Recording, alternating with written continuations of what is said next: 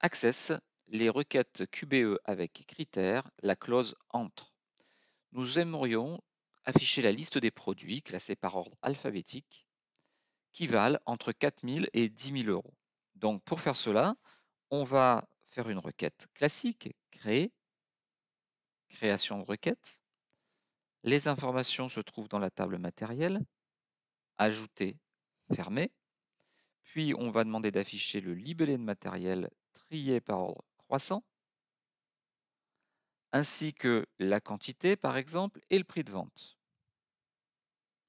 Et moi, ce que je veux, ce n'est pas tous les produits, c'est seulement ceux qui valent entre 4000 et 10 000.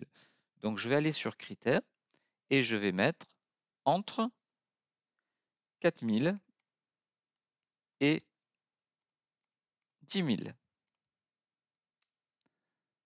Donc le mot-clé entre va permettre de définir une plage entre 4000 et 10 000. On affiche le résultat et vous voyez que tous les produits valent bien entre 4000 et 10 000 euros. Nous allons enregistrer cette requête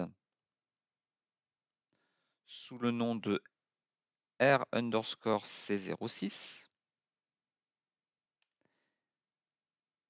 Et donc, n'oubliez pas de vous abonner à la chaîne si vous ne l'avez pas encore fait et de mettre un petit pouce bleu